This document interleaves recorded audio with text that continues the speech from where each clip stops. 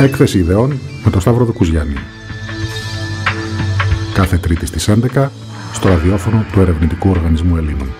Και τι να γράψεις στις εκθέσεις ιδεών. Πρεμιέρα τρίτη 7 Νοεμβρίου.